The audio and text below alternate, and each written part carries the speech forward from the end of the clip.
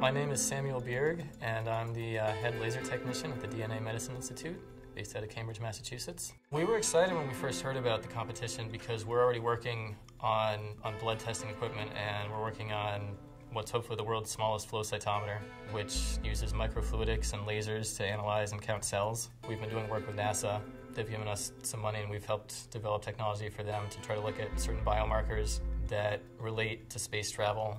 Single molecule uh, fluorescent scanning means you're using some sort of intense source of light, uh, usually lasers, to excite a molecule, in this case DNA, so brightly that you can measure the amount of light that's emitted just by that one molecule. And that can tell you a lot of things about the molecule that you can't see when you have more molecules together. We're developing a product that we call nanostrips, which are little fluorescent particles that we're running through our instrument. And depending on how strongly those fluoresce, we can determine certain things about your health depending on what test we're trying to run.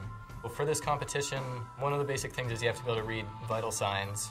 And then there's a certain list of diseases that you have to be able to diagnose. We're basing this on the star tri- tricorder, and for that you just kind of hold it up and wave it up and down, and it makes some noises and some lights flash, and then you have all the information you need.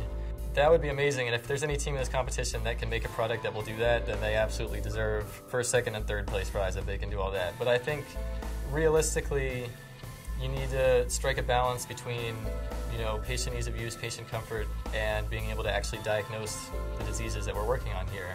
You know, I don't think a lot of the teams here really have a good system beyond the biosigns of how they're going to diagnose those. I think without looking into the blood, it's going to be very difficult to diagnose a lot of these diseases, and that's sort of where we're starting from, is trying to get as much information as we can out of a drop of blood. That was sort of our, our goal even before we entered the competition. Other teams have come have come at this from an industrial design point of view first, where we're going to make the, the sleekest product, and ours is not going to be the sleekest product, but I think we've got a huge leg up on the actual diagnostic side of things, and then we just need to get everything into a form factor that people are comfortable with